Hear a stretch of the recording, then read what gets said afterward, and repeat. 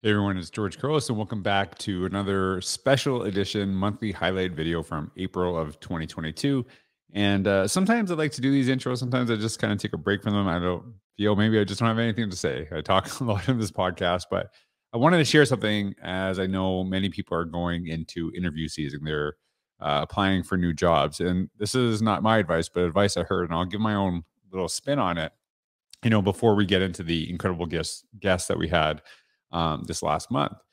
Something I heard, and it's a common question that you get in interviews is, What questions do you have from us? And the response I heard, and I can't remember if it was just in conversations having, eh, I just wanted to make sure that you know it's not mine, but I heard it and I wanted to pass it on to you. Is um, what questions do you have from us? And a, a really great one is if I was to be successful in this position, what would that look like to you? And there's a couple reasons I think that's a really powerful question. And the first one is it gets them to visualize you in the job. And I think that's part of the the connection that you're trying to make is that how do they see, you know, you being successful? How do they see you in this position? But I also think it gives them an opportunity to really kind of define what that looks like. And then through their response, how do you actually validate that's what you would do? That's how you connect. And maybe to be honest with you, maybe you're like, oh, that's not something I want to do at all. And so it gives you kind of an out as well if you don't feel this is a position that, you know, would really tie to your strengths and connect.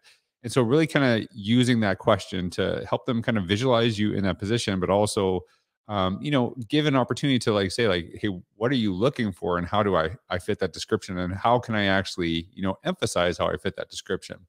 And this actually reminded me when I was starting my student teaching right before I became a, a teacher, there was an award that was given for the best intern of our class. And that was a terminology, I don't know, student teacher, whatever, um, you know, for my university class. And I asked my cooperating teacher on the very first day, probably about 10 minutes after meeting her, I said, Hey, something that I'd really like to achieve is I would like to win this award. So, in your eyes, what would that look like for me to get to that space? Right. And I wanted her to kind of visualize, you know, to be honest, yeah, I did want to win that award. Uh, and, but I think it was more, I like, I wanted to excel above and beyond expectations. And so she described a lot of things for me that she'd like to see. And I wrote all those things down and I constantly went back to that list and went back to that space because, first of all, I wanted to put in her head. That's something that I wanted to achieve in this process. But I also wanted to, you know, really kind of emphasize like what are the things that she looks for that would make a really good teacher and use that space, whether I won the award or not, which it didn't. Spoiler alert. I didn't, even, I was nominated, but I didn't win. Not even close. But uh, it was just a really great way for me to kind of just figure out what are some things I need to do to be successful in this position. So I, I think about this, you know, maybe whether you're transitioning your career, maybe just starting your career.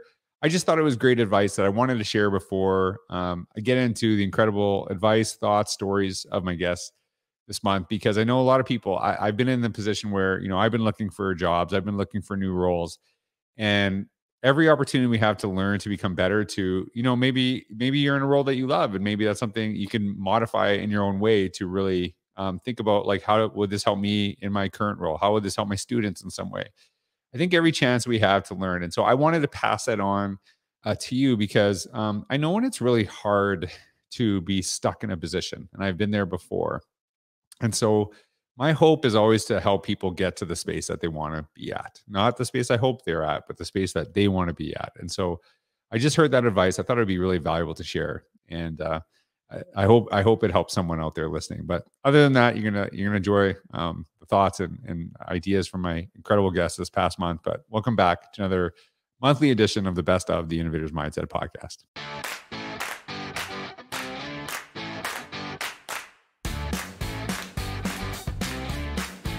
Now, whether you become an entrepreneur in terms of opening a business, you should become an, an entrepreneur and understanding that you are a business of one. And what do I mean by that hmm. mm-hmm. let's say let's say you're an educator. You go to your district and you soak up every piece of PD they offer.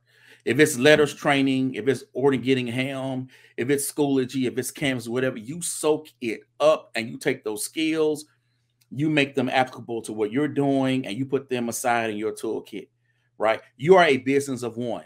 And when right. your district no longer serves you, right?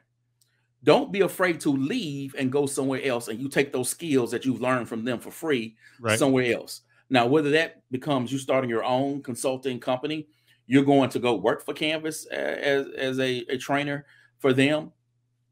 Uh, or you just move again, move on to another school district where their values more align with yours, or where it, where you can see a, a, a, a clearer path for growth for yourself.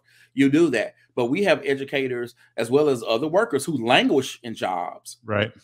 Because they get attached to the job, they get attached to the paycheck, and not understanding as a business of one you actually are in control of where you go right. because your employer will let you go when it is best suited for them right yep. or yep. if for example a school district which you know normally we don't you know school districts normally are not the places where you hear about a lot of uh, job cuts however when budget cuts come you could be the one on the chopping block because they don't have the money for your salary so old thinking was was you know it, it's like eh, like like the hockey coach idea. Every three to five years move them on. They they come in with a burst of energy in a new site. They get everybody excited.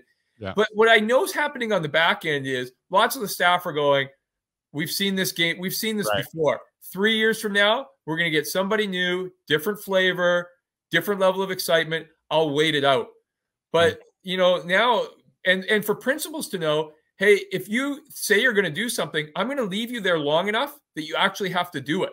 Right. And so um, I, I, we're like I'm finding that we are having maybe it's does it's not as flashy, but it's more it's more sustainable the changes that we're making because administrators are more consistent in their positions.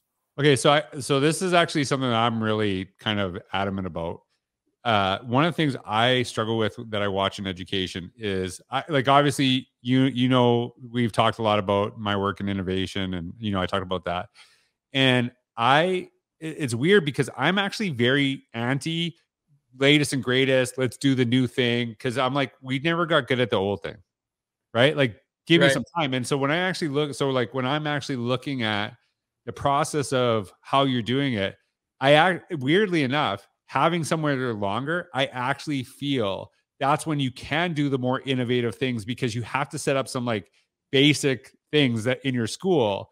And really, when I'm looking at innovation, it's about depth. It's actually not about the new, like, it's not about attaching to the new thing, right? And like, have you found like through this process, having, you know, there's those relationships kind of building long term that it actually has maybe helped you to you know really do some things that maybe kind of put because I know that you you you've done some like interesting things in your school district and a lot of people like kind of look to it but having that consistency does it actually lend to innovation in any way? Yeah it, it, i think you're exactly right it's, it's so funny that way. I think you know right from you know me being in the job for more than a decade you would think that we would you know that you can actually still have an innovative you know an innovative mindset as you might like to have Mm-hmm. Do I get it? Do I get a, a horn for that? Oh, uh, sorry. Uh, that's all I got. oh. That's if my nose ready. So, but I'll give you that. I got it. All right. So you know that you actually have that. Um, you you know right from me being in the role, yeah.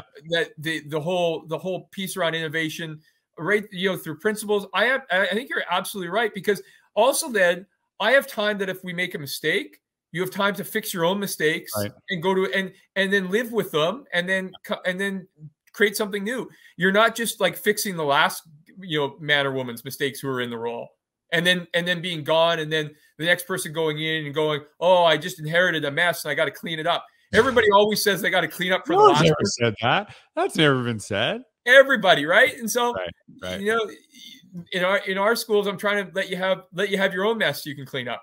Right, and that that I think that that to me is so important because I think there is that disconnect, and and I, I think for to be, and it's interesting because I, I think like you, I've evolved in that thinking, right? I, yeah. I don't know if I would have said the same thing 10 years ago, right? You know, like it is good to like have, you know, new ideas and stuff like that too. But I think part of the reason why um, a lot of those places that have consistency in the leadership uh, are innovative because you have relationships. You know, you know, people got your back if something does go wrong, and that they can kind of help guide through it. But if you know, if you're new to the role, I don't really know you. I, I kind of just want to toe the line, do what you kind of ask me, and then, like you said, wait it out to the next person. I'm going to do what they're doing.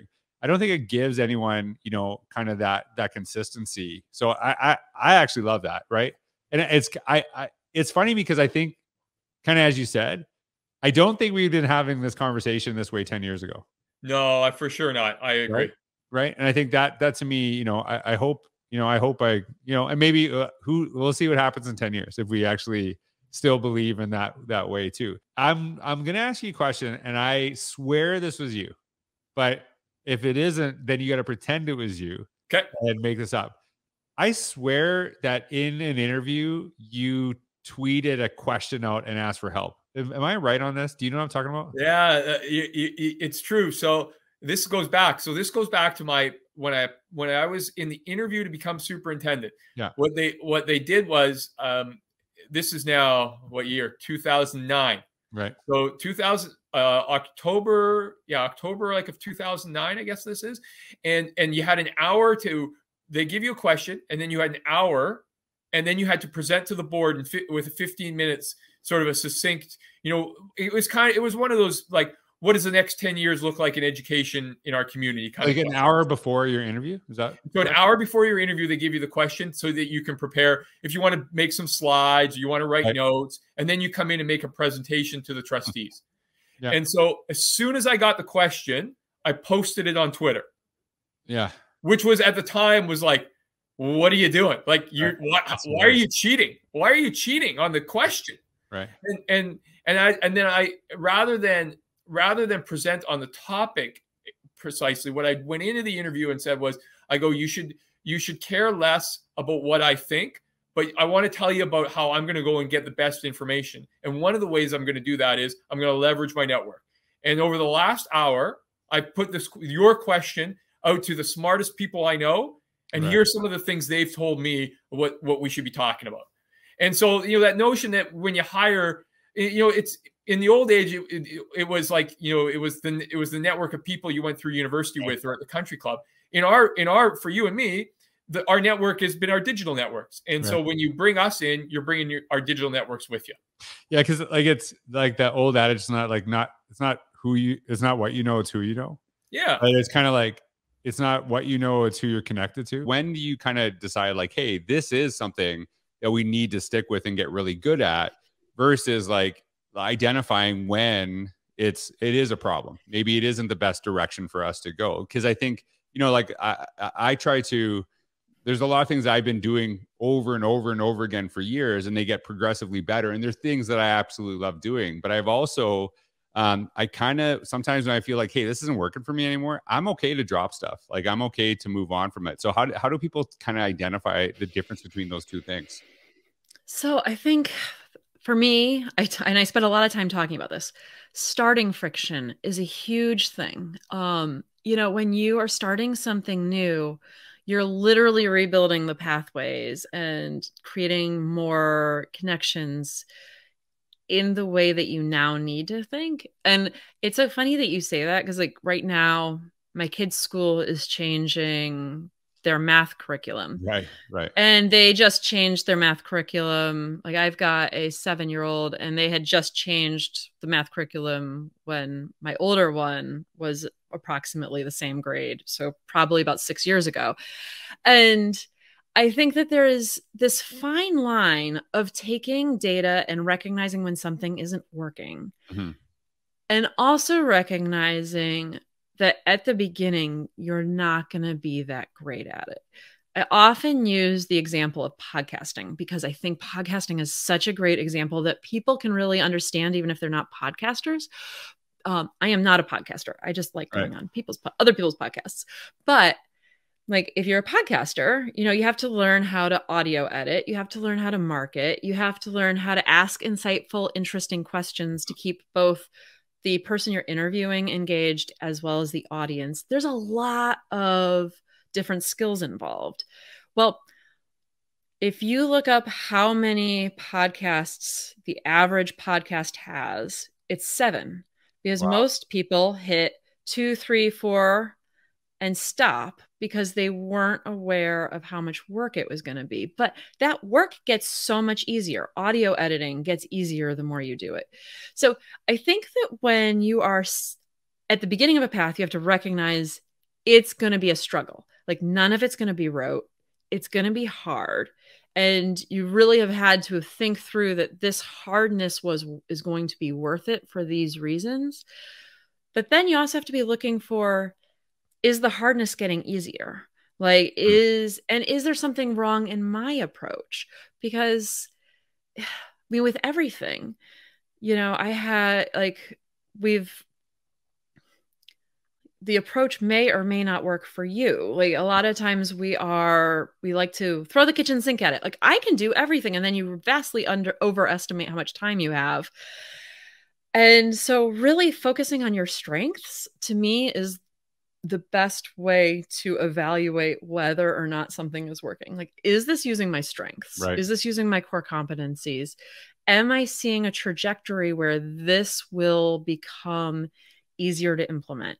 This will become what I need it slash want it slash hope for it to be. Like, for example, knowing students. Here's a question right. for you how do you what are some suggestions or strategies for teachers to do this right? Like because i know we can kind of dig into like what does that mean but like what are some ways that teachers can do this where you have the nick sabans of the world and then you know uh, the opposite personalities? What are some ways that we can do that? Yeah so all right i'm going to start with that last part first. Like if you if if the question is how do i know my students better? um you have to be intentional about that. You have to talk yeah. to them yeah. and you have to ask them questions um like uh be be uh be a student of your students right like a- ask them uh things that aren't related to your subject area mm-hmm. what are your hobbies what are your interests what team are you on um and and then look if you have a terrible memory like i do well then make a spreadsheet or keep notes like right. not don't interrogate the kid and write it down in front of them, but like keep notes and remember. Uh, uh, George was really fascinated with college football. So right. after the game, look at him and say, "Oh my gosh, did you see that interception?" Right. That is knowing, and that provides a connection with him, and that itself won't make him learn math better, but it will lower his guard a little bit. It will it will put him in a place where he can be receptive to the other things you do as part of teaching. Mm-hmm. Um, and, and and this is the thing, George. Like humans are incredibly complex, so there isn't yeah. one thing to do. And you said earlier, different. Uh, so teachers need to. Uh, there's nothing wrong with teachers having different personality types and different right. approaches themselves. So just because you're gruff doesn't mean you're hateful to kids, right? right? Right. And so maybe there are kids that that's what they actually connect with. So I want to say something I, I said on the short broadcast is if you treat no matter what your personality is or your approach, if you treat each of your students with dignity all right. the time, then your style is fine. Right. Um, and, and to your to your bigger question, do these things hold equal weight? Like my research in the book wasn't intended to explore how these things interact with each other and which is more important. It, it, it's it's meant it was meant as an exploration like to to right. notice.